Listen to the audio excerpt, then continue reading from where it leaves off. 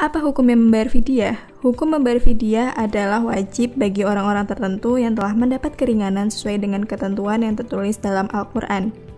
Apakah kamu salah satu orang yang ingin membayar fidyah tapi bingung bagaimana harus membayarnya? Anda bisa konsultasi masalah pembayaran fidyah melalui kami. Nantinya fidyah yang ada akan diperuntukkan bagi fakir miskin.